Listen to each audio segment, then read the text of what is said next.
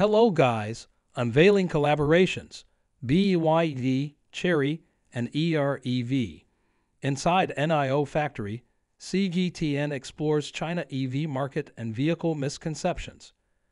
Today, we will discuss some potential partners.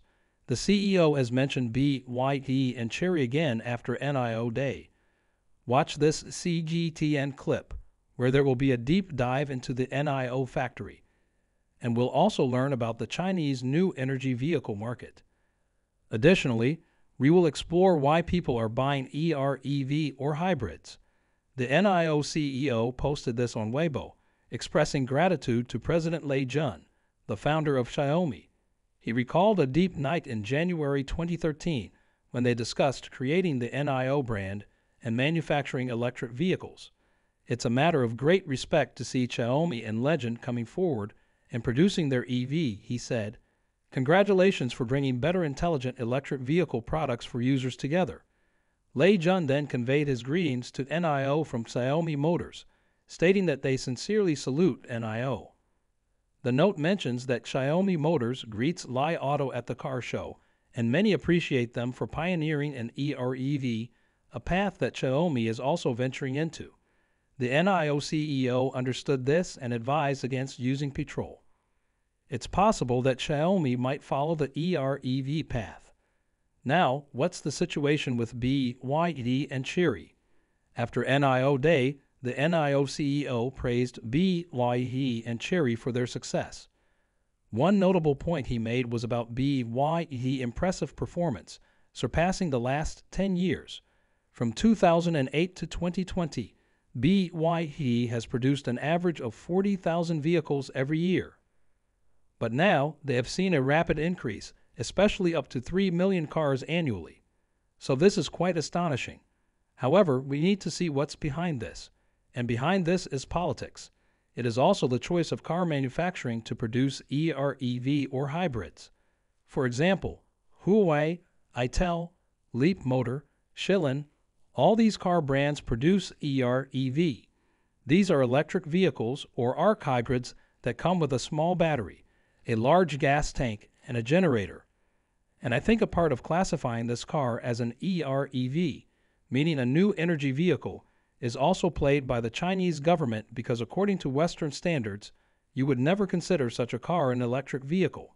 It's not an electric vehicle, but China includes these cars in new energy vehicles, which is quite strange, and they have policies supporting new energy vehicles, which also include these EREV, which are basically electric vehicles but mainly run on gas. People have become accustomed to these kinds of cars because they think petrol is necessary for them. And electric vehicles have no significance for them. Their range is limited. There is range anxiety. We have to put some gas to extend the range. That's why it's a range extended vehicle. And this is a deep cycle.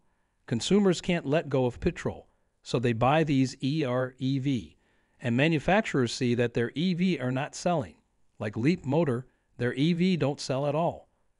So they are forced to make EREV, and this validates their decision to go with EREV, and they sell a lot.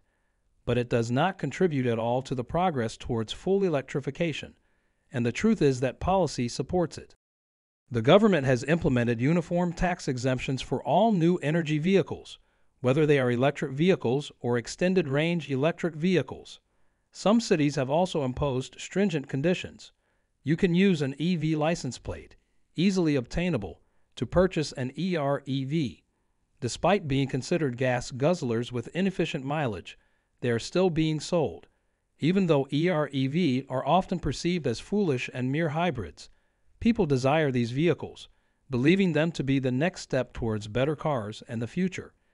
They think a patrol car with electrification is the right direction, claiming both features are excellent. Many, including myself and numerous NIO owners, argue that EREV should never be categorized alongside electric vehicles. They insist on excluding EREV from the new energy vehicle category, emphasizing the need for pure EV as the global trend dictates. NIO's second factory showcases significant automation visible in videos.